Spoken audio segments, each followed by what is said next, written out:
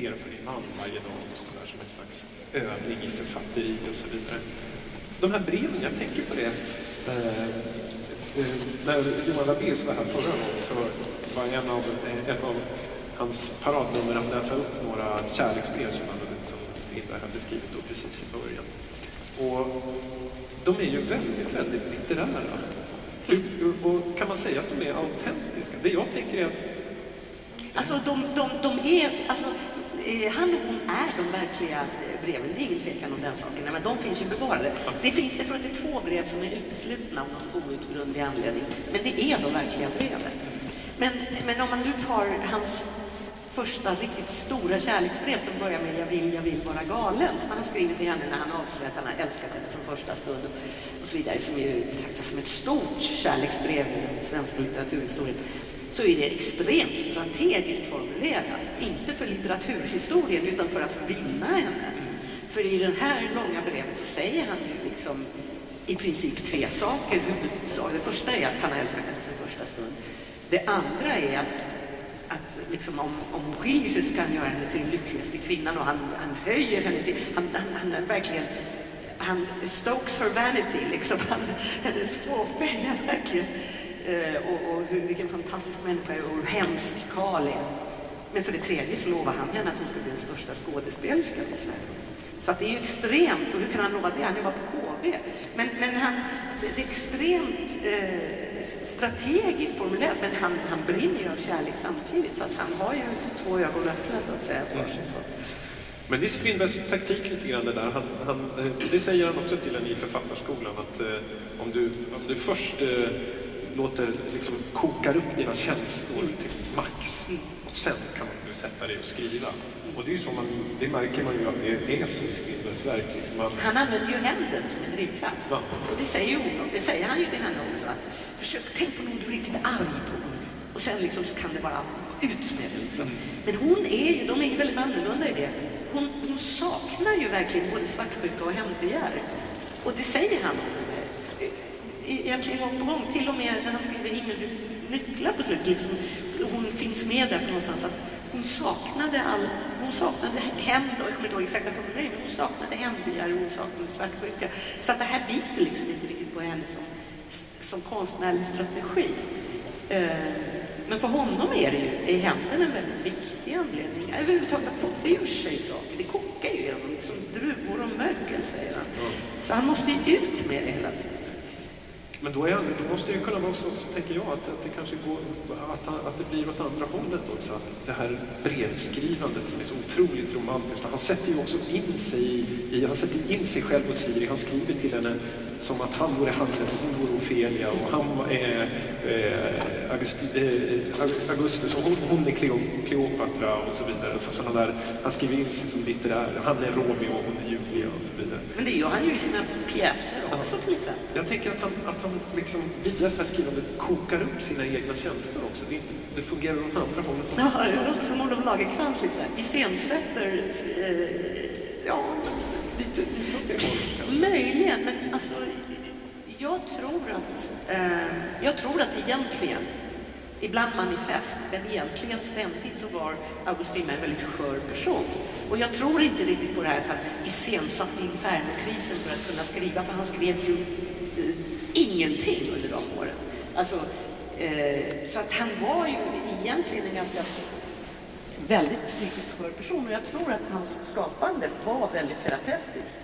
Eh, både skrivandet och måleriet och till slut kunde han ju bara hålla på och försöka göra guld när det var som värst. Men jag tror att han var en fantastisk självterapeut. Och, eh, och i den, alltså det här iscensättandet för att få det att koka, jag, nej jag köper inte riktigt det. Det finns, det finns säkert med eftersom han ger henne det rådet, tänk på abbedissan när du är i klostret och behandlade dig och så vidare. Visst finns det med, men jag tror att, att, att, eh, att, att det, det, var huvudsakligen åt andra hållet. Att han säger någon gång till den här Helene Welinder som jag skrivit en fantastisk essä om hur hon umgicks med dem i Schweiz. Att, att det, det liksom, måste, han måste ha bromkristaller för det kokade i honom hela tiden och han måste hela tiden ut med det på papper, eller så är det Björn som han säger det. Ja, lugnande. Han, han måste hela tiden, så fort liksom det kokar igen. Han måste ut med det på pappret och sen börjar det koka igen och då måste han ut med det igen. Så att det är någon slags... Det, får, det ger honom någon slags ordning. Men du var inne på någonting där som jag, som, som jag tycker är en av de finaste sakerna, eh, man säger så här, bidragen till, till, till förståelsen av, av deras relation och av, av Strindberg som författare. Eller rättare sagt Strindberg som människa, ska jag säga, inte som författare kanske huvudsakligen. Och det är just den där hur, hur svag han var. Alltså hur, hur, hur, hur öm och vek han var. Alltså den här vekheten har ju funnits tidigare men den blir så otroligt eh, konkret i de här scenerna när han är det några stycken där han liksom är som en rasande furie för att han är svartsjuk eller ja, det är någonting som, som har gått, eh, som, har, som han blir irriterad på. Och, och han liksom flyger ut emot henne och kallar henne massa elaka saker och så vidare. Och, så vidare. och hon sitter nästan lugnt och bara väntar ut den här stormen och sen kommer han fram, ofta kan, det kan handla om precis efteråt, alltså sekunderna efteråt, då kommer han fram och, och förlåt, förlåt, förlåt och så lägger han liksom huvudet i hennes knä och bara klappar, och hon klappar på honom och så, och så är, det, är det liksom bra. Ja. Alltså hur lugnt det blev, det, det vet jag inte, men hon insåg att det var hennes enda chans. Eh, hon visste att förr eller senare så skulle han hamna där i, i, i, i, hennes knä med huvudet. Men så visste hon också att han skulle straffa henne för att han hade blivit så liten och legat med huvudet i hennes knä. Så att det var ju en ond cirkel. Alltså det stora mysteriet, det är inget mysterium, för människor är komplexa, men det är ändå ett mysterium. Varför lämnade hon honom inte tidigare? Mm. För det var ju en fruktansvärd situation hon hamnade i. Men eh, vad, vad, vad, vad är nyckeln till det mysteriet? Ja, det, det, är svårt att säga. Jag tror att det finns flera svar och det finns kanske eh, svar som är mera sanna än andra. Eh, jag kan bara spekulera, men jag tror att det finns en aspekt. För att när de väl är i exilen så är det ju, är det ju inferno för henne.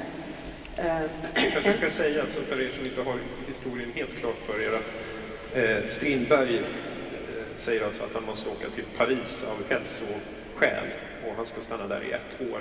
De ska stanna där i ett år. Siri som ju vill spela teater och, och har engagemang på gång och så vidare, hon tycker att det där med att åka till Paris låter helt vanvettigt. Hon har ju sin karriär som har kommit igång här. Men Strindberg säger, ja men jag måste för min hälsas skull och vi ska bara vara borta i ett år. Ja okej, till slut går de med på det och det slutar ju med att de då reser runt i Sex år. Sex år, framförallt i, i Frankrike men runt i, i Europa, då, Schweiz och Tyskland också. Och så småningom Danmark. Och ja, under den tiden så är ju Siri då avstängd från sitt yrke och instängd Strindberg kan man säga. Ja. Och han har ju då skuldkänslor som han inte kan hantera för att har förstört hennes liv, vilket ju bara gör saken ännu värre. Och sen har han mitt under det här, den här giftasprocessen, där han förlorar fotfästet verkligen, även trots att han inte blir fälld, då han anklagas för hädelse alltså, och han åker hem till Sverige. Och han kommer tillbaka och då sätter verkligen hans kvinnohat igång. Men varför inte lämnar honom? Ja, jag tror en aspekt är hon har redan skilt sig en gång. Ehm, de har tre barn tillsammans. Hon föder ju det tredje levande barnet och det fjärde barnet tillsammans eh, i utlandet. Eh, hon har slut på pengar. De har båda slut på pengar. Han har sett till det, att hon ska leva högt. Eh, det är en aspekt. En aspekt är möjligen, och det skulle ju Marie David säga efteråt, långt efteråt, att Siri säger att det som är förgånget, det är förgånget. Men om man tittade in i Siri Essens hjärta så skulle man nog se någonting som hon inte vill se. Hon antyder att det fanns fortfarande starka band där. Dottern, alltså Karin Smirnoff, säger att kärleken var slut för det här laget.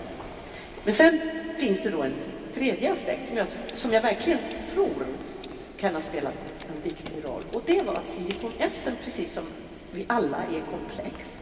Och hon är väldigt modig i vissa avseenden och väldigt feg i andra.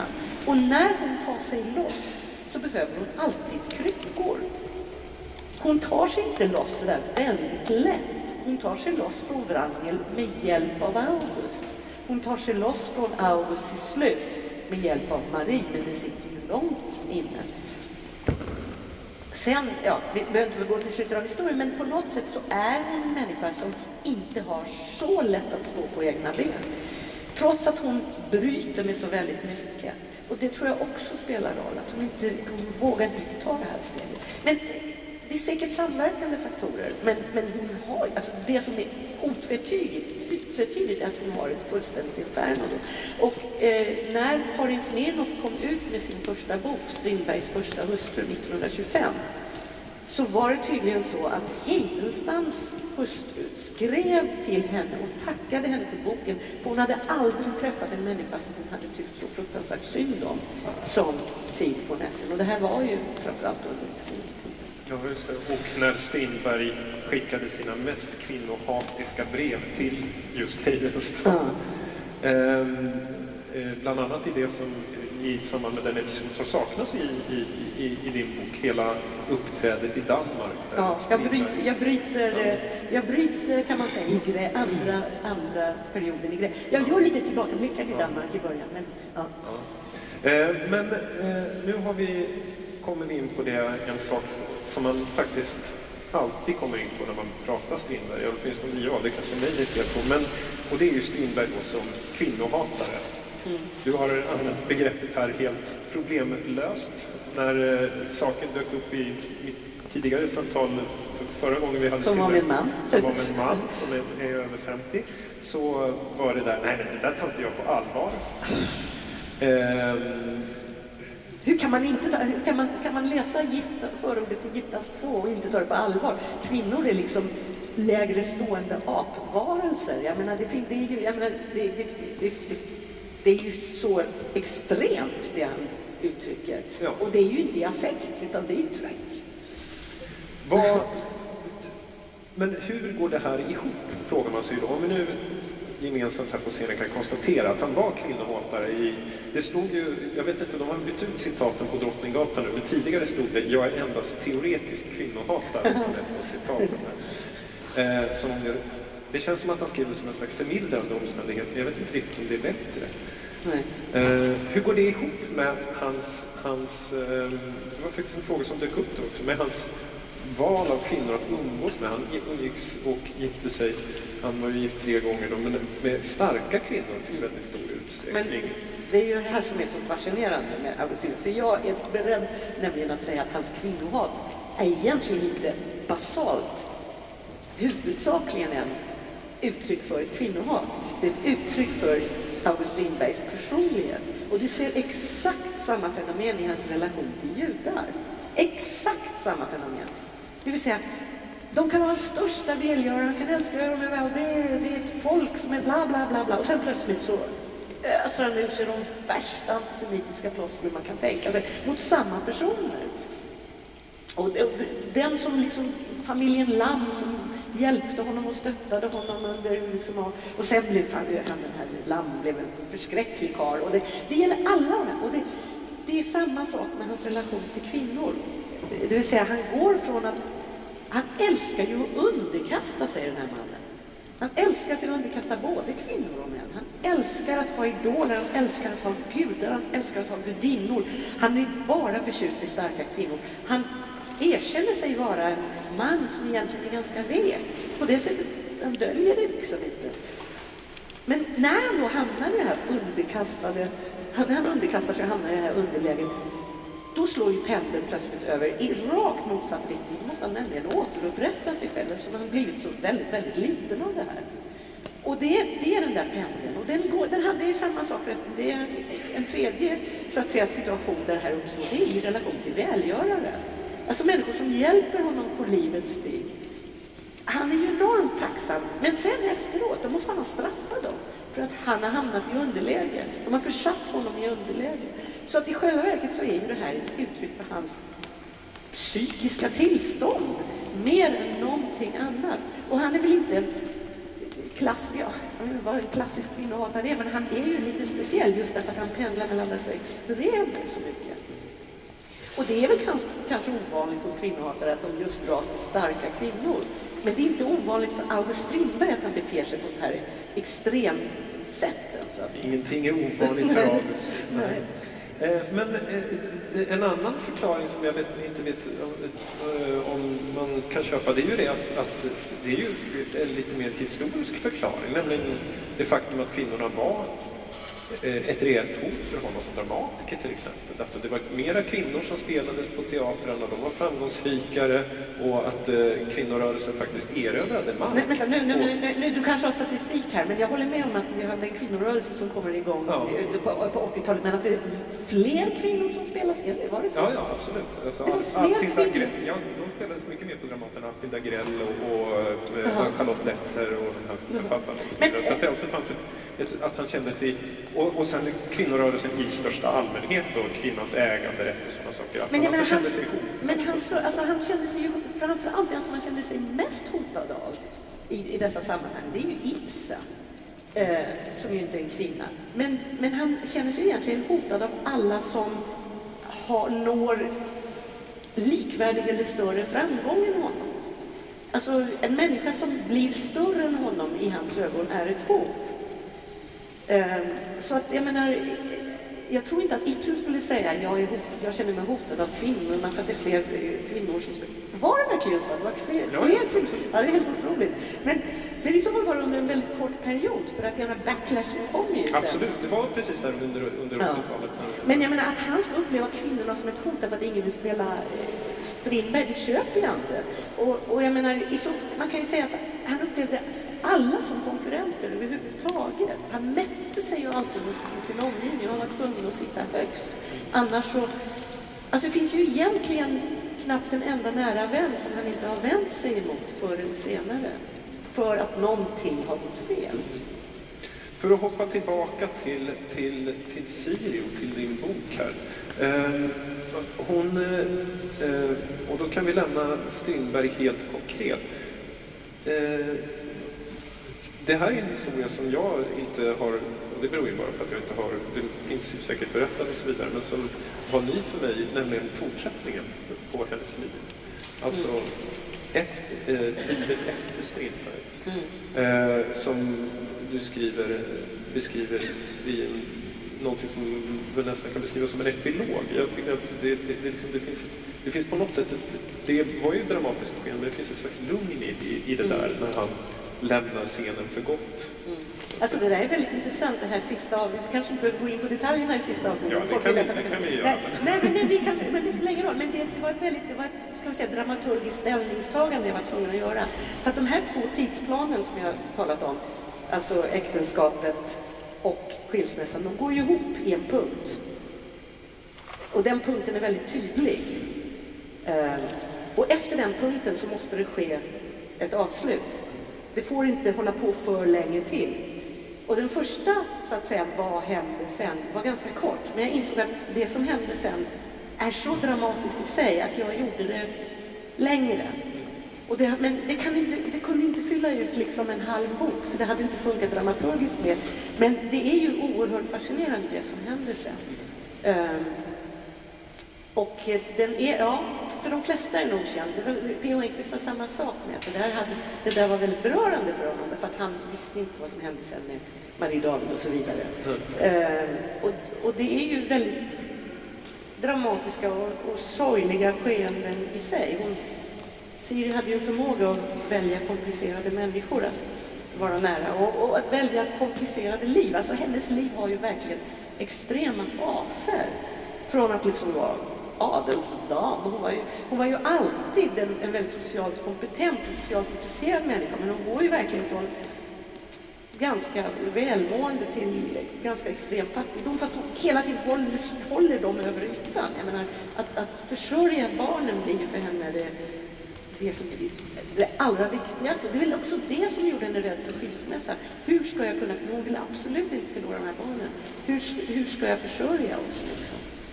Och det där är också en, en, det är en slags vändning i hennes, eller det är ju inte en plötslig vändning naturligtvis, men det är, men det är också inne på det här att när hon är ung så hon vill inte ha barn, hon, Nej.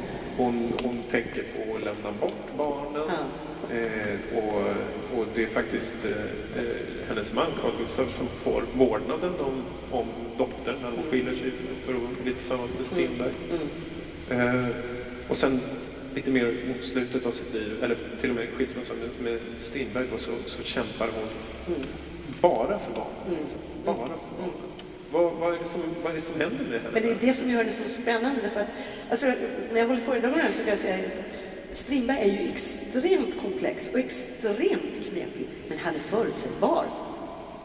Han är ju, jag vet ju alltid hur han ska agera och även om man har sin infernokris så är han ju verkligen tydlig. Förändras ju radikalt under livet. Framförallt förändras ju hennes prioriteringar. Och just den här relationen till barnen och relationen till yrket, allting förändras radikalt. Och jag tror att det är en funktion väldigt mycket av de extrema konflikter hon är utsatt för. Både liksom den, eh, den konflikten mellan hennes inre drivkrafter och, här- de yttre förväntningarna när hon är ung. Sedan eh, den enorma påfrestningen som har varit det här äktenskapet med Strindberg. Och sen också att, att mötas, eh, reflekteras mot den här kvinnorörelsen som nu kommer igång på 80-talet, där han är den största motståndaren och hon är något slags uttryck för kvinnorörelsen. Och att, och att förhålla sig henne, det, det var enorma krafter som kom att verka på henne. Och som säkert gjorde att, att till slut så, alltså jag tror att barnen blev hennes emotionella, fok- hennes enda rädd, emotionella räddning åtminstone under exilen. Hon hade liksom ingenstans att ta vägen känslomässigt. Och då blev barnen hennes känslomässiga hamn. Det var där man kunde... Jag, jag, jag tänker på det därför att eh, i en årets försvarstal framför allt, men överhuvudtaget när Strindberg resonerar och sånt här, eh, alltså om förhållandet mellan könen under, ja, under 80-talet i alla fall, och så, där, så är det ju hela tiden en maktkamp. Det handlar ju hela tiden om maktkamp, alltså att, att, eh, att vem det är som st- styr och vem det är som är förtryckt och så vidare. Han, han försöker ju vända på det där och säga att det är inte alls kvinnan som är förtryckt utan det är mannen som är förtryckt under kvinnan och så vidare. Och, och just den där kampen mellan man och kvinna. Men, men då vill jag ta tillbaka det till att det där är inte kampen mellan makt och kvinna, det är kampen mellan allt i August Strindbergs liv. Ja. Men det jag tänker, det jag tänker tror, tror, tror, tror du att eh, Siri såg på, på sitt äktenskap med, med Strindberg som en kamp? nej, nej. Hon, det är precis det jag säger, ingen svartklubbare, inga handbegär. Nej. Nej. Och då blir det heller ingen kamp? Nej, hon, nej, det finns... Och det tror jag, det var ju någonting han kunde tillerkänna henne, till och med efter skilsmässan, att hon, nej, hon hade inte det. Hon var inte prestigefylld på det sättet. Hon hade ju ambitioner, hon var ju extremt ambitiös eh, när det gällde teater och så vidare. Men hon, var, hade, inte, hon hade inte de här makttendenserna liksom. Och det är väldigt tydligt. Och hon var också, hon sa, det är också något hon försvarade sig aldrig mot en dåres försvarstal. Nej. Hon sa, jag vet, jag vet vem jag är. Och, och jag bryr mig inte om vad folk säger. Alltså en, en enorm styrka på ett sätt. Det, var, det blev ju hennes dotter som skulle försvara henne sen, efter hennes död, mot en dåres försvarstal. För hon stod inte ut med att bilden av Siri var präglad av en dåres försvarstal. Men Siri gick aldrig motangrepp. Aldrig någonsin. Har det funnits för dig också en tanke på, någon slags tanke på upprättelse? För Siri? Ja, precis. Nej, det tycker jag, det tycker jag Karin Smirnoff har gjort bra. Det tycker jag inte känns, det känns inte idag som att man behöver upprätta sig. För det, det, det, är liksom, läser man Indonesiens försvarstal så är det så mycket galet med det, att, man, att hon är redan upprättad i viss mån. Liksom. Det är en fantastisk bok, måste jag säga. Ja, jag tänkte höra, hur, hur läser du den boken? Som, som när du, alltså framförallt i ditt arbete med den här, när du liksom är så uppe i Siri och sen så kommer den... Nej, det började, nej, men nej, det var jag är inte uppe i Siri. Jag börjar, det första, jag börjar med den här dokumentären, så det första jag läser den på då, då blir jag oerhört fascinerad av den, även om som sagt hon hade funnits lite grann i bakgrunden. Jag tycker det är en fantastisk bok. Jag tycker det är en fantastisk bok. Den är ju, sista halvan är ju helgalen, men det är, den är verkligen en fantastisk bok. Alltså det som är otroligt med Strindberg som författare, han är, han är strålande, han är verkligen en strålande författare. Det är ojämn men strålande. Det är ju att han är så extremt modern. Han skriver ju så att det, man, kan, man, man kan sitta och läsa om idag och vara där. Och det var ju det första jag kände när jag läste En dåres försvarstal just, men den har så stark nerv. Den är ju så full av både alla möjliga slags känslor. Men han skriver så fruktansvärt ofiltrerat. Just, tror jag, på grund av det här druvorna och möglen som liksom bara rinner ur honom. Att han skrev ju inte enligt någon mall eller form för hur man skulle skriva. Och där, när man då lever i Stockholm som vi gör och börjar läsa en Dåres försvarstal så är det som att sätta sig i en tidskapsel. Fum, säger så är man bara i 1870-talets Stockholm. Och, och, eh, och, det, och det, jag, jag, jag skulle villigt medge att den boken inspirerade mig jättemycket. Eh, och, det, och det, är inte bara det, är inte bara det att, han, att han är väldigt ofiltrerad i sina miljöer och sitt sätt att skriva. Han är extremt ofiltrerad i sitt sätt att beskriva människor. Och därför hamnar vi ju i sängen med honom och Siri. Vem var det som skrev på det sättet på den tiden? Eh, så att eh, där, därför så var, för mig var det en fantastisk läsupplevelse, eh, Endores försvarstal, och den inspirerade mig. Men jag såg ju samtidigt, alltså man, man, man, man får ju sympati för henne, till och med när man läser hans bild, för att det blir ju så galet.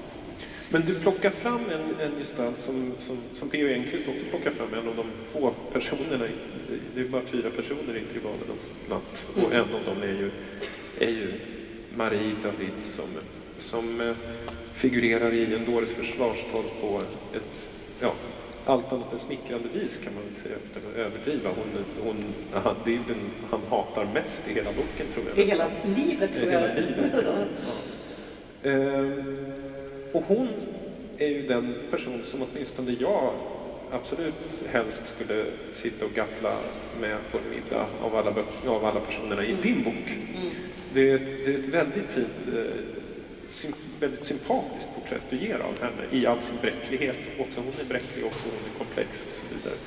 Eh, hur lyckades du trolla fram den figuren? För det tycker jag verkligen, det är, det är ett litet, litet underverk. Att trolla fram henne? Mm.